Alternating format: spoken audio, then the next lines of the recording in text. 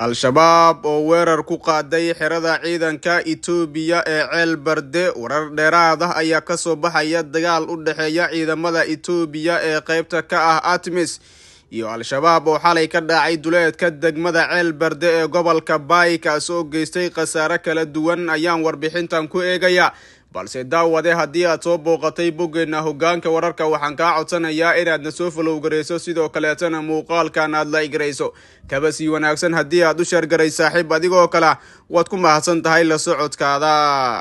Dagaalka ayaa yimid kadib markii al-shabaab weerar arbushaad ah ay ku soo qaadeen saldhigga ay ciidamadaasi ku leeyihiin degmada waxaana kadib dhacay iska hor imaad toos ah ilo dadka deegaanka ayaa hogaanka wararka u sheegay in xubnaha al-shabaab ay markii hore madaafiic ku garaaceen saldhigga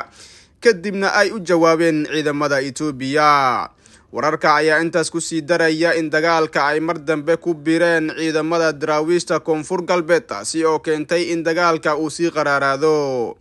Ma cadda khasaaraha rasmiga ee ka dhashay dagaalkan iyo weerarka ka horreeyey kaasoo xalay si weyn loogu dareemay guud ahaan degmada ceel barde iyo deegaanada ku dhow. Xaaladda ayaa weli aada u kacsan waxaana lagu soo waramayaa in al-shabaabkii weerarka soo qaaday ay dib u laabteen kadib saacado ay dagaal ka wadeen halkaasi. Sidoo kale ciidamada itoobiya iyo kuwa koonfur galbeed ayaa maanta isku fidiyey duleedka degmada halkaas oo ay ka wadaan